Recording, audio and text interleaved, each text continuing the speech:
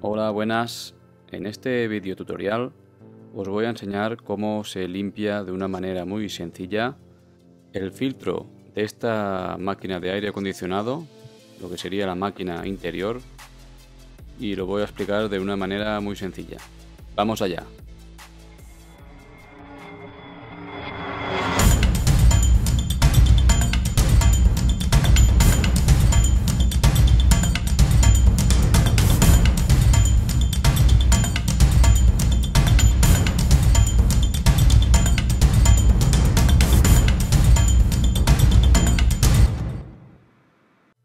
Bueno, primer paso, vamos a levantar la tapa.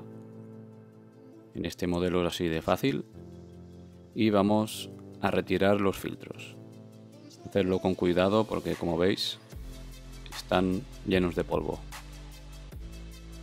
Entonces, yo lo, lo que quería hacer es sacar el polvo así con este grifo, en la pica. Pero muy lento. Cogéis, lo metéis en la ducha o en la bañera y en un momento lo tenéis limpio. Lo vais repasando, que se salga todo, todo el polvo. Y ya está.